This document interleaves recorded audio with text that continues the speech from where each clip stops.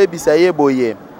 chef de l'Etat, kebaka na bato oyo bauti kokabwana, donc bato ya FCC. Tozolinga ke peuple a se retrouver ndenge outi konome ye ye asala mosala selon vision na yo mpe vision ya peuple mpo soki asali kaka mabe biso tokomata kaka na nzela mosala na biso eza kaka mabe tomati na nzela merci merci mais chef de l'état kebaka na bato wana bato wana baza bato moko boye yo moko oyebi tolinga bango mpena mingimingi te mais eloko tosengi yo chef de l'etat nzambe akumisama kaka na bato oyo ozonda yango na signon sacré wana wana eza lokola chintunge wo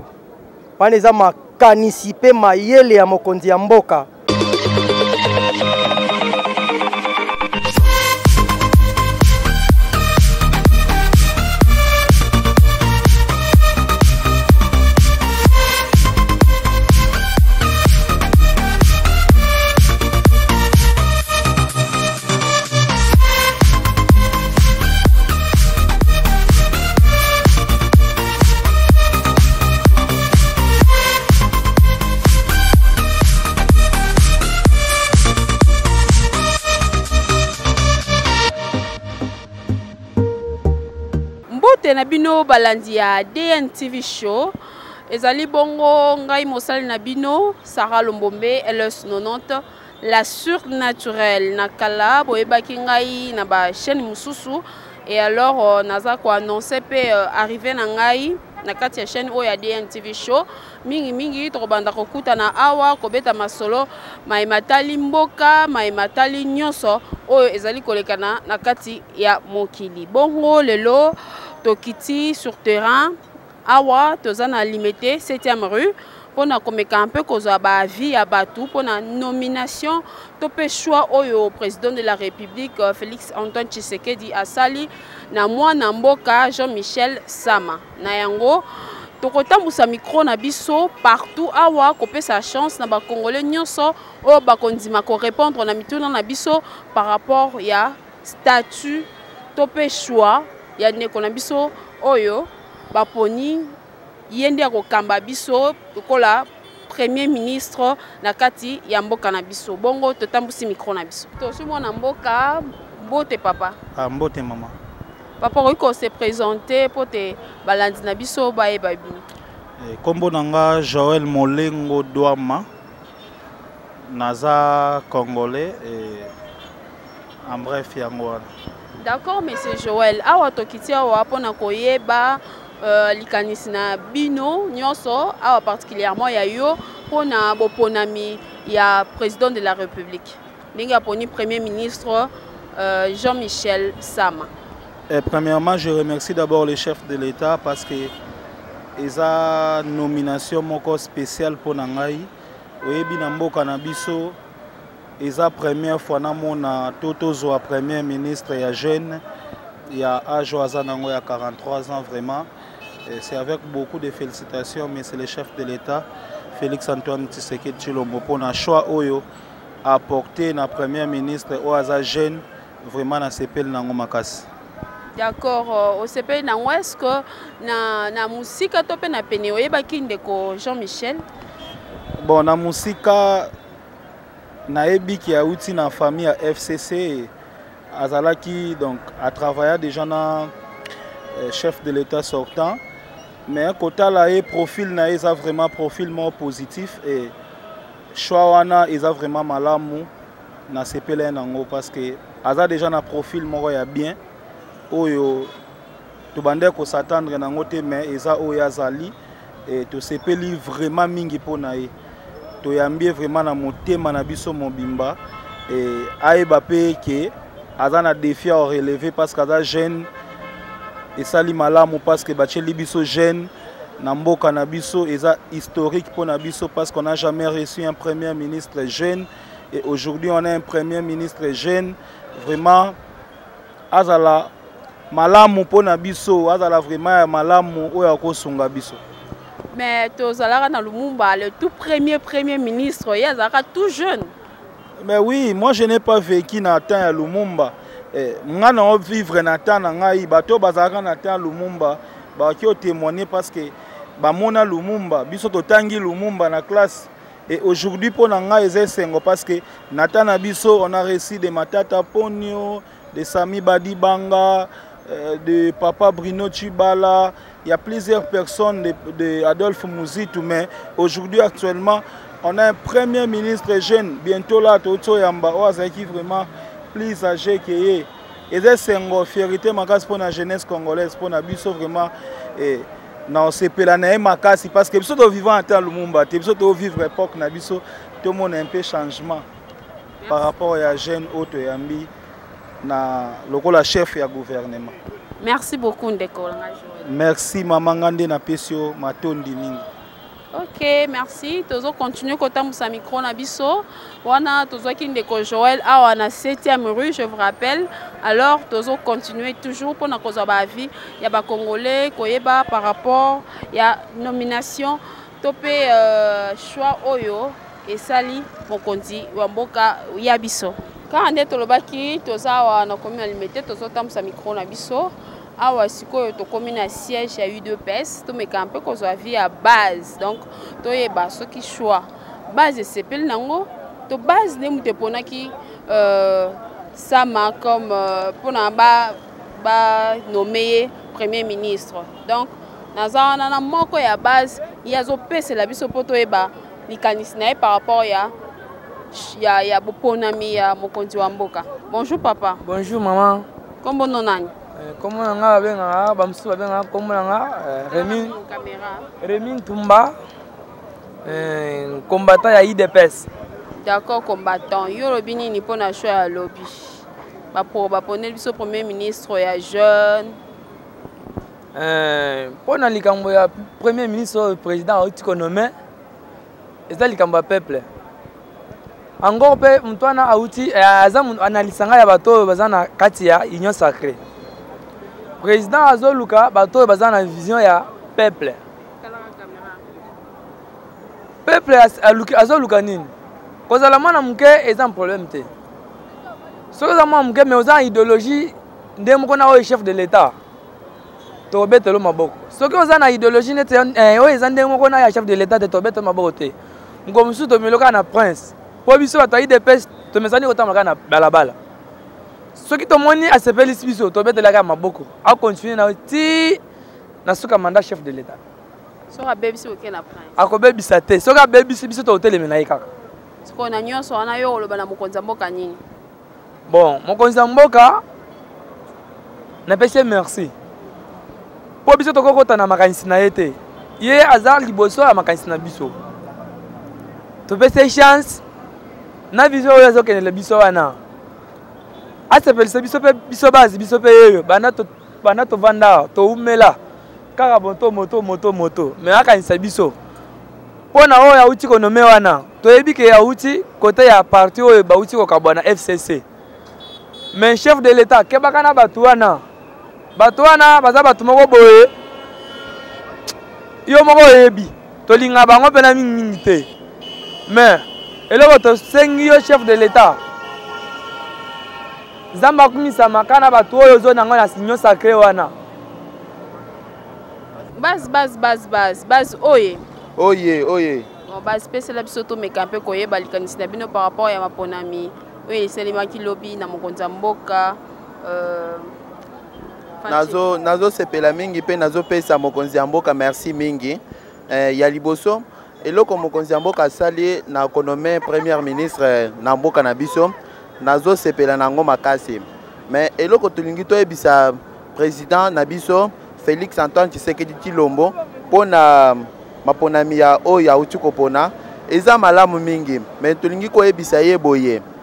chef de l'Etat kebaka na bato oyo bauti kokabwana, donc bato ya FCC tozolinga ke peuple a se retrouver ndenge outi konome ye ye asala mosala selon vision na yo mpe vision ya peuple mpo soki asali kaka mabe biso tokomata kaka na nzela mosala na biso eza kaka mabe tomati na nzela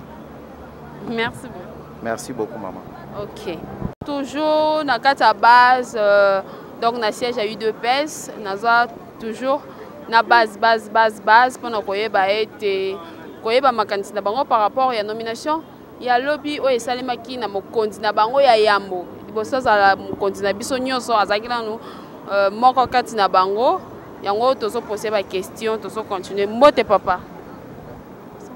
mbote mama journaliste nkombo na yo nani mpe awa tozwami wapi nkombo na ngai tonton robert kanda awa toza na juste liboso ya permanence na biso ya idps na base kaka nde yo moko ozoloba wana base base base base eh, toza baike toza awa mwa ebele toza zingazinga awa pembeni ya permanence na biso ya idps ah, mpona na shoi ya lobi ya mokonzi ya mboka kopona ndeko jean michel sama bino bozwi uh, message yango ndenge nini mpe boyambi boyei ya premier ministre lolenge kani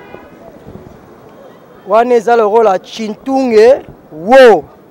wana eza makanisi mpe mayele ya mokonzi ya mboka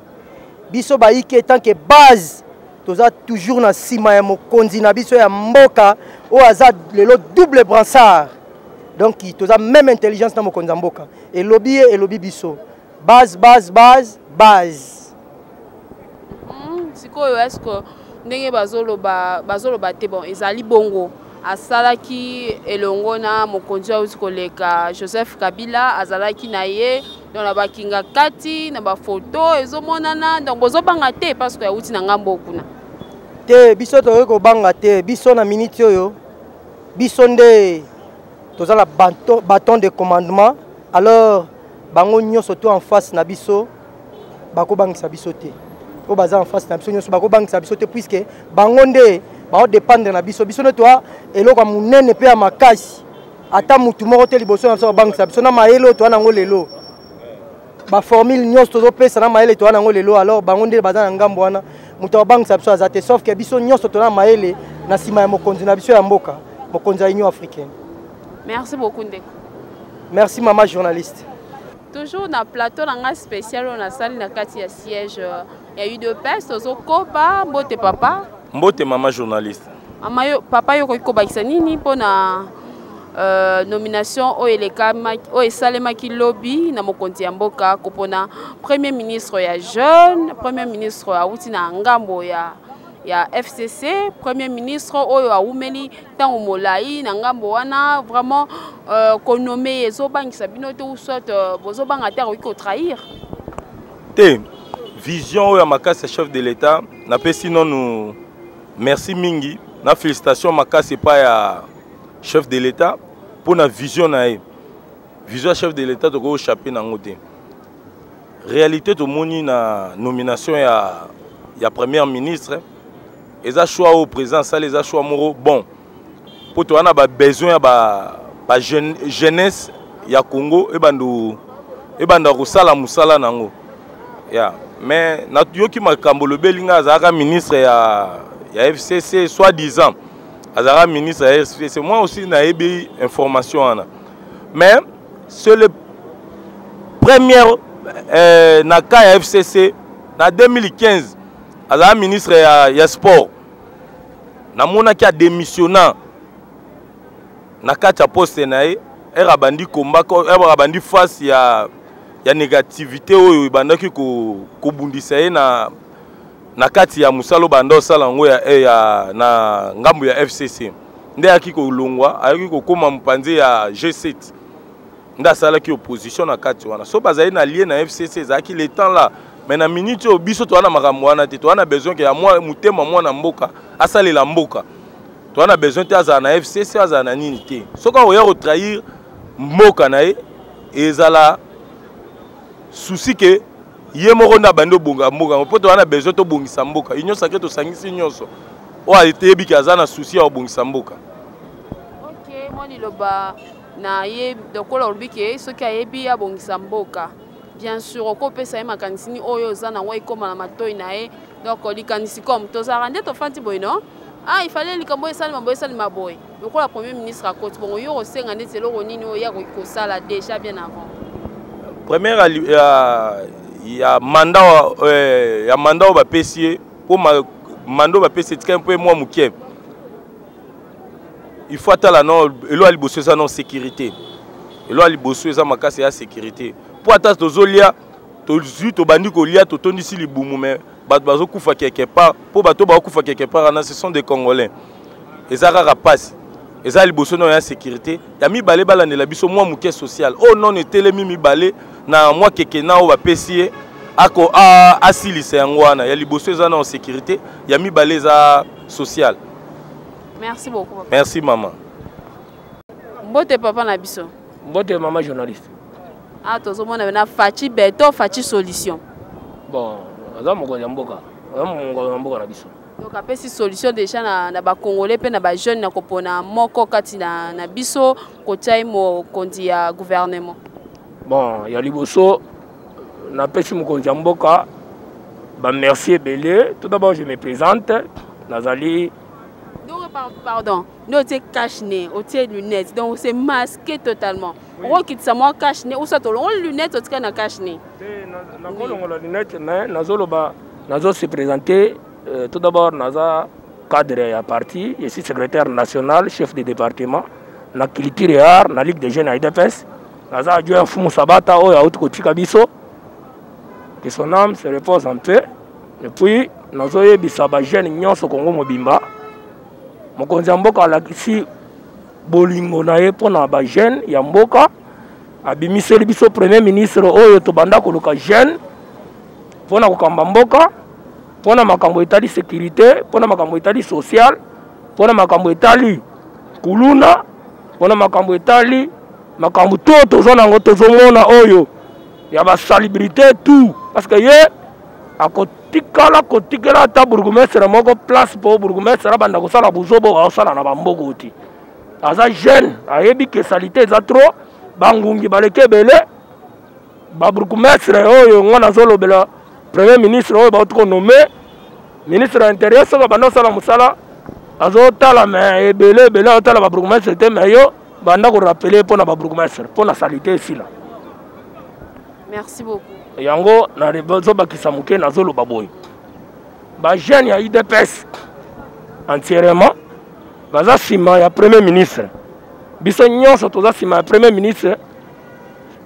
ndenge numero 1 na biso emani dioko président ligue de jeunes aza nsima na ye tozosoutenir ye babonne chance et puis tozoyebisa ye ke oye mpo na couleur ya parti politiki moko te oye mpo na couleur ya bato songolo pakala parceke bamonaki yo balobi oza boyo na ba, ba expertise oyo bobengaka boye te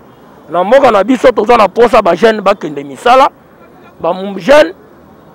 batanga ba jeune batika kikuluna biso tout ba parti politique nyonso confondu babanda kosala mosala toboyi makambo yake o oh, parti fulani ezosala parti euh, songolo pakala ezosala te biloko wana toboyi yango parce que biso toza contre les antivaleurs nde lutte oyo papa chen tshisekedi atikela biso na mboka contre les antivaleurs yo toyebi ke oza moto ya valeur toyambi yo longola esprit ya ki antivaleur sala mosala oyo mokonzi ya mboka abengili yo mpo na développement na intérêt ya mboka kende liboso merci bonjour ndeko oki kose présente oui ngai nali moko oyo ali parmi ba ligue de jeune ya idps nali na kati nali mpe moko ali charge ya mobilisation parmi bamobilisateur nali deja na parti nkombo na yo nkombo na ngai ndeko trésor mwanza d'accord ndeko trésor mwanza yo okoki kobakisa nini na baoyo bandeko bazangisi bon mpo na ngai alaki tout d'abord mpasi na mawa par rapport ya confiance oyo tata mokonzi ya ekole auti kosala na moto ya liboso tobengaki ndeko ilunga ilukamba oyo biso banso bacongolais totalaki tolobi par rapport ya age par rapport mpe ya intelligence ya papa yango ndenge abanda kobengama aza professeur d'université aza songolo pakala aza originaire aza bona bo topesi ye bakombo to ya mokili mobimba tokanisa quand même ke akoya quand même koservir ya mboka mpo bacongolais bameka quand même kose retrouver na mpasi oyo tonyokomaki na bokonzi ya mese kabila pendant 18 ans mais toyei kocomprendre ke tozi ntango mosusu tozi susu ndoki monene koleka lisusu na ye moko kutu kabila cela veut dire abloke république pendant deux ans ya mandat tata mokonzi ya ekole oyo mboka elingi ekende oboso oyo tonga tokóma mpena mosika kongole azozanga lipa kongole azozanga mai kongole azangi courant euh, insécurité partout koboma bipai na bipai mais ye kuna lokola azalaki tike kanya ya fcc ye mosala esaka kokɔta na biro ya climatise mpo na kozwa malili asilisi akumbi mwa mokongo na ye wana akei na ndako alali pongino yango deuxième message na ngai eza quand même kotala ndeko chef de l'état auti konome comme premier ministre comme chef ya gouvernement ndeko na ngai conseil gratuit na bapesa yo yo moko omoni so oyilonga ilukamba auti kosubir yo moto oye bakongole to bazojimele yo bakongole tu tozotala osistema lisu likolo ya lisu oye mpo na mutu songolo pakala te oye mpo na individu te oye mpo na koservir république mboka eza na pasi mboka eza na pasi tala dollar to dollar eza tala biloko ndenge eza ya komata na bawenza bana bazotanga te insécurité partout koboma partout piège partout nyonso wana yali na initiative ya tata mokonzi ya ekolo apesi yo confiance mpo na kotravaille ensemble na biso bakongole nsima na bino mpo na kotonga mboka na biso ekendo boso mboka kameme vivre sur plan économie mais soki oye ke ome okosala oyo ilunga asali okosubir mpe kale meme so oyo ilunga asalaki donc toyambi yo maboko ya kofungwama tosengi yo osala mosala mpo na mboka banome pa chef de l'etat peuple congolais aza nsima na yo tozozela gouvernement ebima tosanzi kameme molunge ya changement na mboka mais soki to vivre yango te yeba ke yo kutu ilonga kutu ezalaki bien mais ya yo tokobimiselo ata meme na, na fenêtre donc message na ngai ya, ya troisième message yali ya komercie mpe chef de l'état par rapport ya choix asali toremercie mpe bayi mboka nyonso tu tosoutenir premier ministre oyo totala esaleli na ye soki aye mpo na blocage tokobimisa na, na fenêtre merci beaucoup papa merci madame euh, toza toujours kocontinue Mbote papa. Mbote mama. Papa na biso bayi mboka bayeba ete nkombo na yo nani, mosala na yo nini awa na udps? Ya liboso nkombo na ngai Jean Mulumba Kalonzo mais je suis un pasteur awa na Kinshasa mais na udps tozalaka na service na biso ya renseignement département ya renseignement na udps. D'accord. komona maponami ya chef de l'etat oyo asalaki choix na ye likolo ya ndeko Jean Michel Sama yo lokola papa okoloba nini mpo na yango parce que aza ministre ya jeune oyo tozwi na eleko oyo mais na ntango ya kala nabandi na ntango na bino bozalaki bajeune bozalaki déjà na tout premier notre tout premier premier ministre il était aussi jeune alors mpo na yango yo oloba nini vraiment biso tozosepela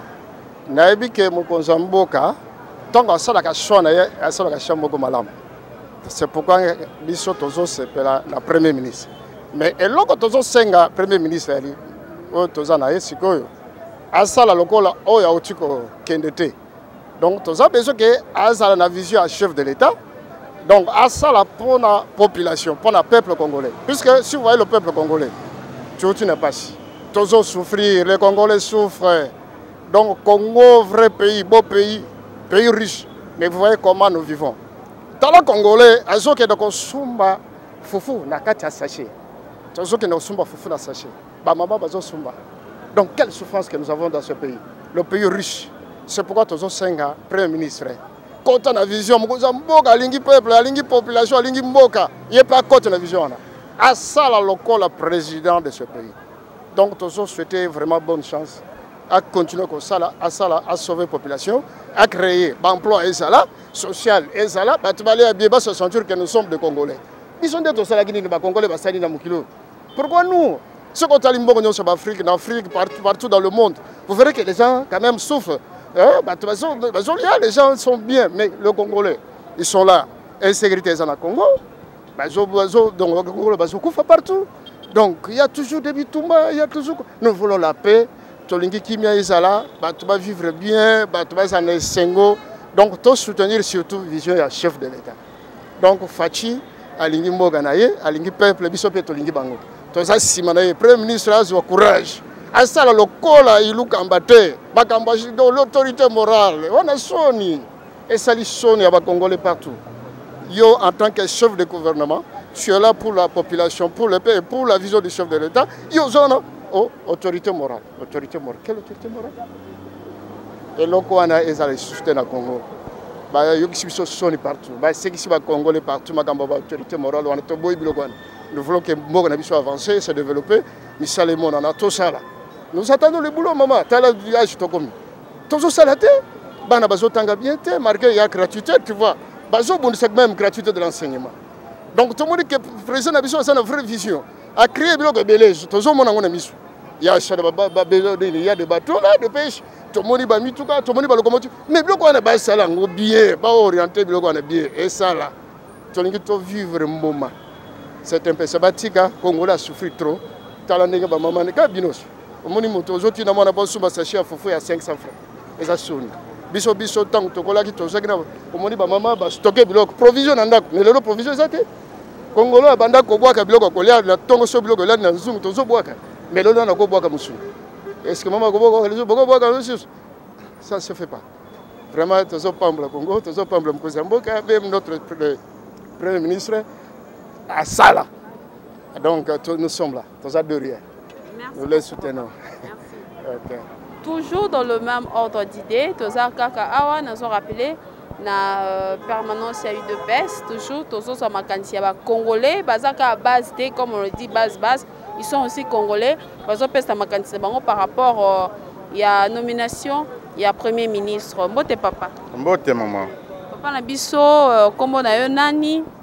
Kombo na ngai Monsieur Mundele Kingombe François. Ok papa, okoki koloba nini mpo na maye elekanaki lobi na boponami ya mokonzi ya ekolo uh, ndeko Fatshi? Uh, mama eloko ya kokosa ezali te lobi tozalaki na esengo parce que tokanisaki ke mikolo ekoleka ebele mpo baya kopona premier ministre soit oyo batiaki mpo apona bato ye nde bakotya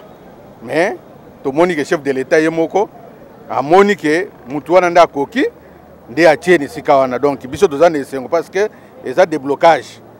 po soki mboka ewumeli premier ministre aza te eza lokola babloke mboka sikoyo tomoni ke makambo ezokende malamu tozela nde baaction hmm. oui sikoyo na yango lokola obe eza deblocage okoloba na nini na mokonzi ya engumba oyo bapesi en fait engumba c'est le gouverneur donc le premier ministre oyo bapesi ye bâton de commandement okoloba na ye nini okosenga na ye nini asala nini mpo ete bacongolais base retrouve euh, nakosenga na ye boye nakoyebisa eloko ya liboso ke mosala mission oyo aza nango eza mission ya makasi parce que mboka edindi mboka eza na se makasi donc ye eloko ya liboso ifo aluka tombola mboka mpo bipai nyonso mboka eza ya kobeba fcc atikali kobebisa mboka oyo tozali na minerin mais peuple aza pauvre mai eza te courant ya malonga eza te kolia kutu eza te or biso tosengi na ye lokola koti bato nde balia misala emonana mai courant ezala na facilité mpe na prix ya se tosepeli parce que na kokota na ye mbala moko chef de l'etat auti koinaugure eh, société ya transport transco tomoni quand même bato bazomata na ndenge ya bien baza kotambola eza esengo alors to ekutana mpe na kolia ya bato misala epuis baaktio nyonso ya kitoko oyo bato bakoya na yango epai na ye mpo na kotombola mboka asoutenir yango azala na parti pris te azala te premier ministre ya province moko songolo ou bien ya tribu moko boye azala premier ministre ya bato nyonso bato nyonso base retrouve autour ya premier ministre wana epuis ministre nyonso oyo akosala mabe asuspendre ye oyo akobloke action ya chef de l'état parce que toyebi ke chef de l'état vision na ye ezali peuple d'abord ni koloba ke oyo nyonso ekosenga ke peuple asepela nde ye nde azali kotia chef de l'etat donc aya kobloke ye te lokola baoyo bauti koleka awa babloke ye bane oyo nyonso moye atravers malamu eza te alors biso toza na esengo et surtout kaza jeune toyebi ke aza na makasi makila ebele na nzoto akosala mosala ti ata minui akolemba te yango nde eh, nakanisi liloba na ngai yango wana merci beaucoup papa merci nani koajoute boye biso toza syndicat syndicat national d'encadrement des receveurs omoni le peuple d'abord eza ko se marier na bato wana ya pamba oyo ya mike mike oyo banéglige lokola bareceveur wana oyo bafutamaka te na bataxi bis bakolo mituka bayebi bango te mais biso tosali syndicat mpo lobilobi le severe banda kofuta me mpa mokolo motuka atikala kodiembela ndenge aza kodiembela wana mpo soki otamboli na afrike mobimba ndenge totambolaka tomoni ata mboka moko te le severe aza kodiembela lokola na kinshasa e na temps ya, ya fati beton tolingi yango te donc tolingi amarke nanu pas à partir eloko wana mpo eza na visibilité ntango tokomona na balabala le severe azodiembela lisusu te mpo akomi kofutama alati propre tomoni ke ok mpo na biso syndicat ya encadrement des receveurs et contrôleurs de bis et taxibis na république démocratique du congo merci beaucoup merci beaucoup ok mpo na kosukisa tozwi ndeko ndeko okoki kose présente bandeko bayeba yo merci madame la journaliste nkombo na ngai iso ngembe bolonga jérémie oui ndeko jérémie yebisa biso yo okoki koloba nini kobakisa nini na ndenge mokonzi ya mboka aponi ndeko moko oyo lobilobi azalaki na ngambo oyo kuna ntango nazoloba ngambo oyo kuna yo oyebi yo oza mwana base lobiki ya ngambo oyo kuna ezali ngambo oyo euh, mingi mingi na bino boyokanaka te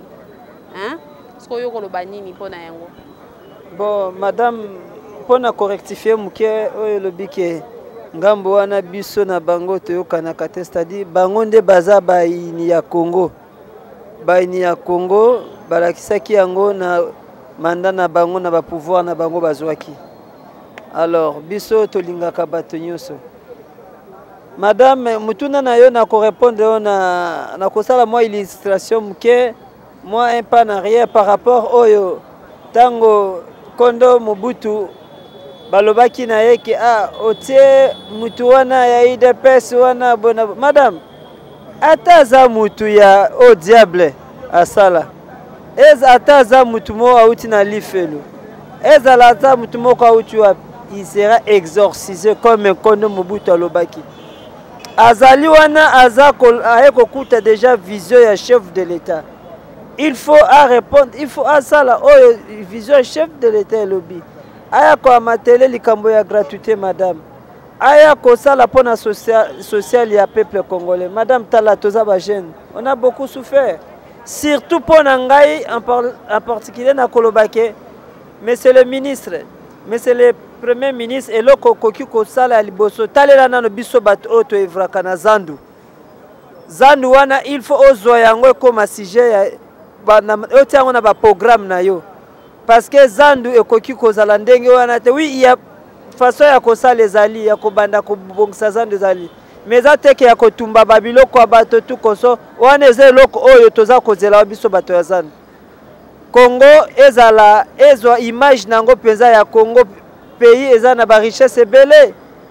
ezala te ndenge oza wana bo oya oh non avant osala o respecter vision ya chef de l'etat mpo na bien-être ya peuple congolais otuna nano famille politique non a mambo ya autorité morale eza te monsieur le ministre awa yaka nde osalela congo soki osaleli congo okomona ge na yo kozala te koyono kosala ndenge pepe asalaki te koko ndenge asalaki korepete yango te kosala yango te do yaka nde korepondre na mposa ya peuple congolais tosepeli mingi topesi yo bachance topesi yo vraiment tokotika yo te na mabondeli yaka yoka mato eleka ya motu te eh, premier ministre yoka chef de l'etat na yo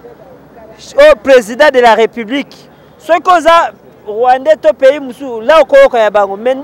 ndenge oza congolais yoka chef de l'état ya congo yeba mpe eke oyeba ke baprison na biso tu tobongisi yango mpo na motu oyo akoyiba place na ye eza na prison pouvoir ya fati eza pouvoir ya beton moellon soki oyibi ata infra tokobosana yo ki oza jeune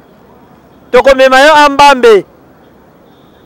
To souhaite ba bonne chance. Ba mama pe balobi bango bakotikala sima te parce que bango nde babotaka biso ye pe azangi te alingi apesa toli na mokonzi ya mboka oyo uh, en fait na mokonzi ya sika oyo batie mpo na kodirige gouvernement na biso mbote mama eh, mbote mama mama mpo na nyonso oyo obakisa nini Mpo na nyonso oyo nabakisi ke ye mwana wana premier ministre azali age moko na bana oyo toboti surtout mwana na ngai ya liboso azali na ye age moko ya mwasi banda asilisi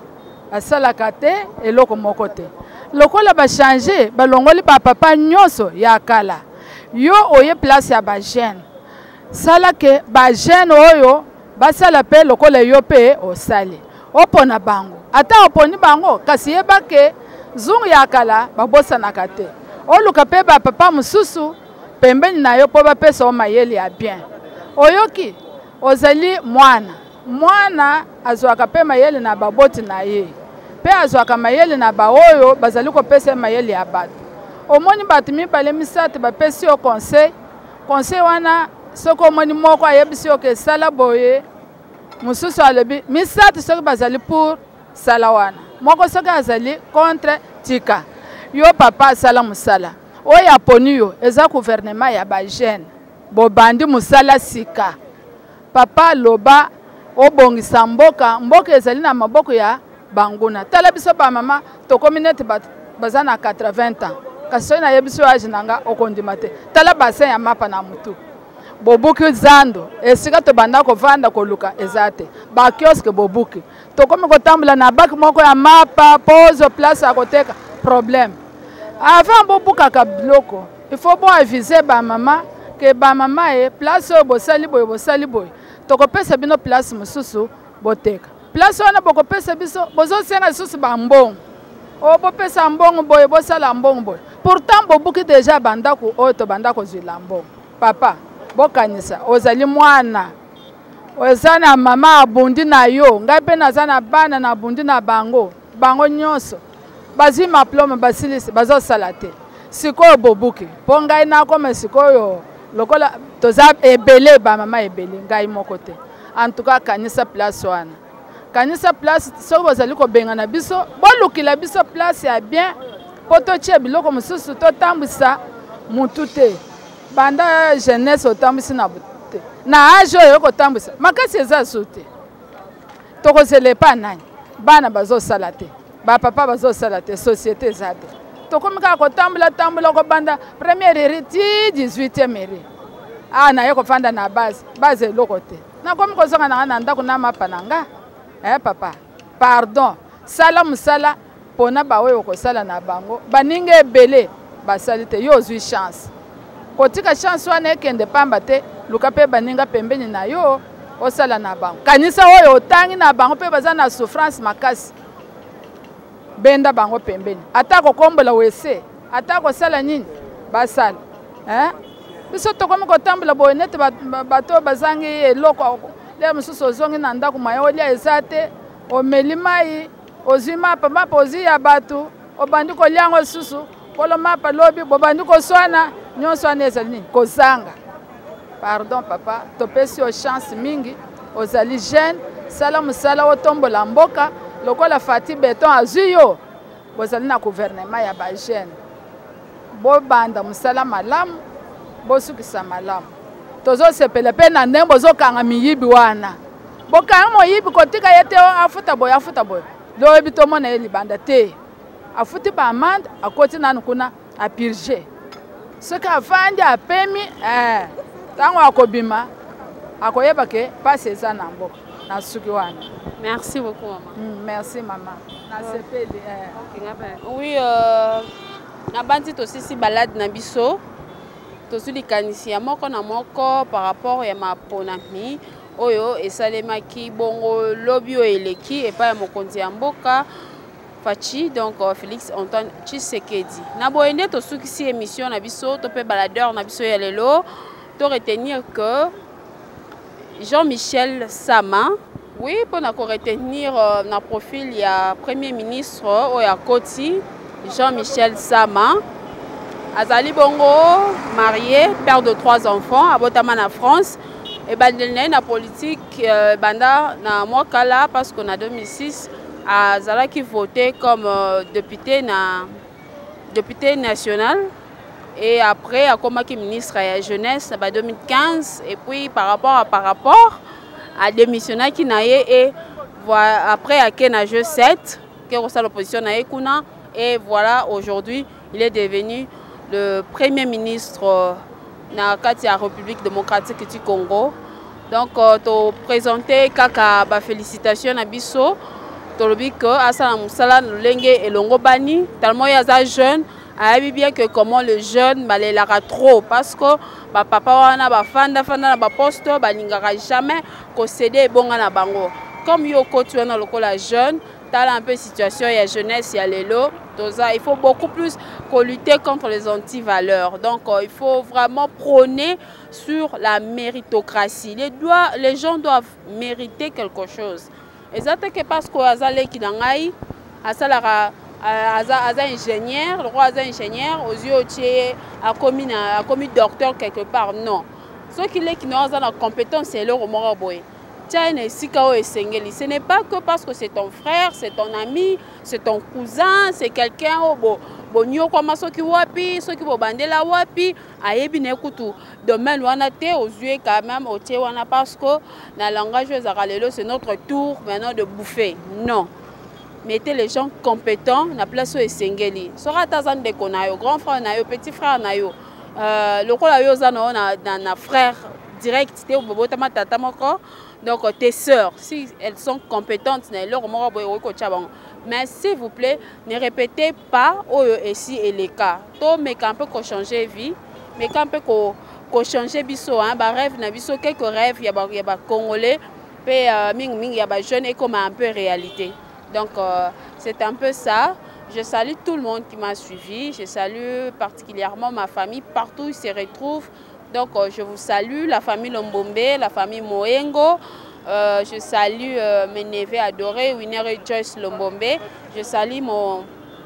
nouveau chef. Donc mon nouveau chef, je te salue. Donc prochainement, je vais citer votre nom. Et je dis un grand merci au cameraman. Donc mes respects à mon nouveau boss, Danny Bolikia. Donc je vous salue ainsi que toute votre famille. Et également euh, au caméraman le plus frais, donc euh, le plus intelligent. Jessie,